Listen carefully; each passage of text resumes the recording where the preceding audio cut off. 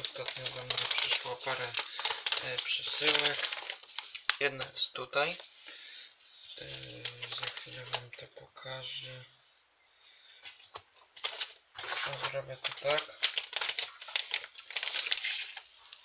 Jest to przesyłka od Łukasza Musioła.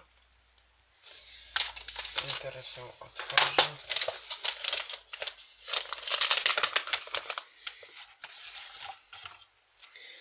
I mamy w niej dwa autografy Łukasza. Zbieram autografy e, piłkarzy, ale też zbieram autografy e, jakichś zna, e, znanych youtuberów. Oczywiście kolekcjonerów, bo no i kolejna przesyłka taka duża.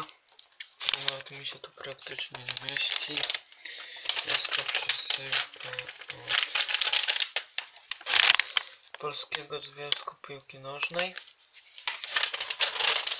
i od Polskiego Związku Piłki Nożnej dostałem mm, tako, taką ilość pocztówek.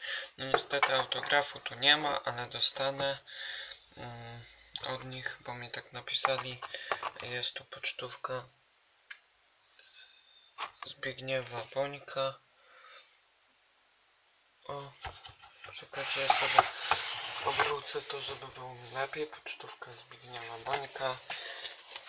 Adama Nawałki. Oczywiście Roberta Lewandowskiego. No i tutaj idziemy, idziemy, idziemy, idziemy, idziemy. Idziemy, idziemy, idziemy, idziemy. Każdy zna oczywiście naszą e, podstawową e, jedenastkę, naszą obecną kadrę dorosłej piłki. Tu są wszystkie pocztówki tych reprezentantów.